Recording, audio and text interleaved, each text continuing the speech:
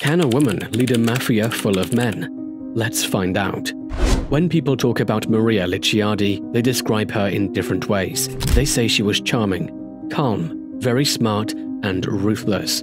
Most importantly, they say she was the leader of the Camorra, the top boss of the mafia in Naples. The Camorra is like the Napolitan version of the Sicilian mafia. It gained control of the city after World War II, taking over activities like smuggling weapons and cigarettes. As time went on, they expanded into real estate and drug trafficking. Maria grew up in a family involved in the Camorra, and all her brothers were active members. One of her brothers, Gennaro, the monkey Licciardi, had become the boss and was in charge. Even her husband, Antonio Teghemié, was also a member of the Camorra. So you could say everyone important in Maria Licciardi's life was connected to the mafia. Maria Licciardi grew up with the traditional role of a wife in the mob world, being loyal, secretive, and taking care of household chores and children. However, as the Italian government cracked down on organized crime, many men were imprisoned or killed, opening up opportunities for women to rise in power within the Camorra. One of the first women to do so was Rosetta Isais Cutolo, known for her ruthlessness and leadership. Under her rule, the Camorra's income soared, but she was eventually arrested and convicted only for associating with the mafia. For Maria Licciardi, it was not an easy rise to power. After the death of her brother, Gennaro, in prison, she had to wait as other male contenders failed to take control due to being killed or arrested. When her time came, Maria proved herself to other bosses and soldiers. She advocated for peace among rival clans, as the ongoing wars were causing financial losses. Under her leadership, the clans collaborated to expand illegal activities like cigarette smuggling, drug trafficking, and racketeering.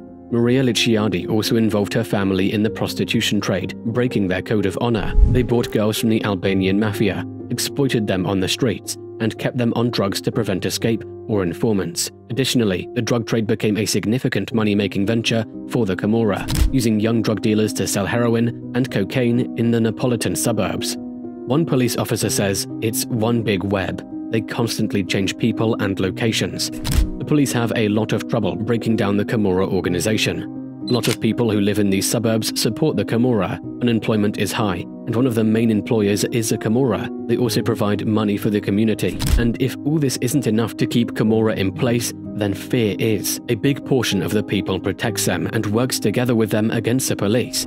Italian prosecutor Luigi Bobbio, who went after Licciardi and investigated her, says as soon as a woman takes charge, we can see that emotion plays a lesser part and the organization reaches greater heights.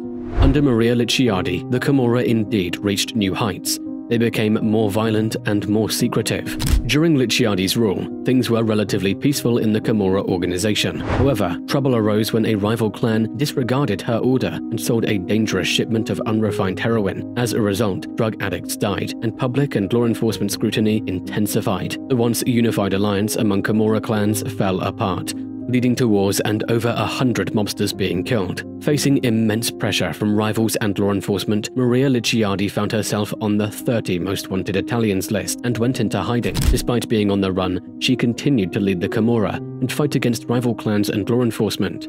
When she felt threatened by prosecutor Luigi Bobbio and his team, she resorted to bombing Bobbio's office as a warning. However, the authorities remained determined to apprehend her. Licciardi seemed untouchable, with Italian authorities having only one photograph of her. They believed she might have undergone plastic surgery or changed her appearance to evade capture. Nevertheless, the pressure persisted, and her hiding place was eventually discovered. On June 14, 2001, the police raided her hideout in a Neapolitan suburb and arrested her. At age 50, Maria Licciardi's reign as boss came to an end. If you enjoyed this story, you should watch how Matteo Messina Denaro was caught.